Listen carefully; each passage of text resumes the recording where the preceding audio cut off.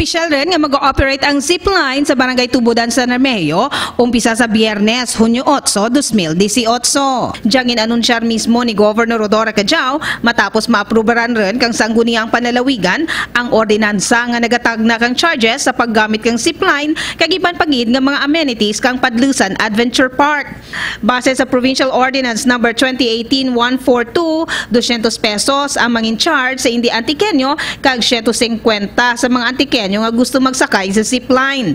Kalakip sa iban pagid nga charges ang mong entrance fee nga pulo ka pesos. Kag sa may mga dara nga sarakyan, pulo ka pesos ang parking fee sa bisikleta, 20 pesos para sa motor, 50 pesos para sa four wheels kag 10 pesos para sa six wheels nga sarakyan sa sulod kang sangkaadlaw. With due all respect for our SP members, uh, I'd like to thank them for passing the ordinance nga maka makabawi naman eh ang probinsya sa pag uh, build natin kang zipline. So starting on Friday, our zipline, our first provincial zipline will open uh, but may charges rin.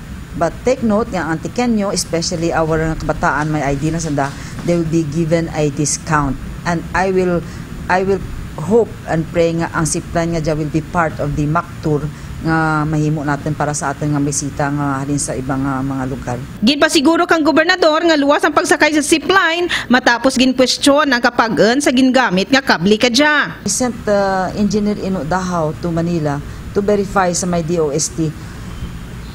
Excuse me. To verify from DOST ang tensyon ang tensyon kang uh, atin nga ginahusaran nga cable nga sa zipline.